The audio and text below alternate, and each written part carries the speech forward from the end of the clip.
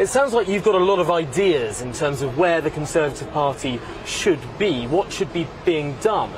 Have any leadership campaigns, nascent though they might be, approached you? And will you be playing a prominent role in what's to come in the next few weeks and months? Well, I'll certainly be sticking up for my constituents and making my voice heard as I have been doing today. You know, the reason that I'm out talking to you today and making these arguments is because I think it's so important that we get we get the right we get the what right in the in in the next few days and then obviously we'll move on to the who uh, as parliament as MPs vote on who's next uh, probably from next week.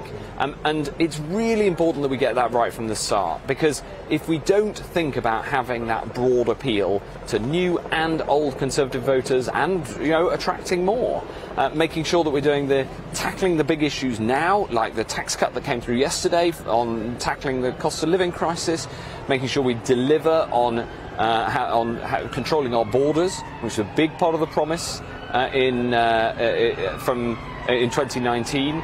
Uh, making sure that we, at the same time, have an attractive regime for the brightest and the best in the world. You know, we've got to get that platform right that has a broad appeal and not, not just a, a, a narrow ideological platform. Well, Matt Hancock, somehow I think it's not going to be the last time we hear from you over the next few weeks. Thank you very much for joining us here on GB News. Really appreciate your time. Pleasure to be with you.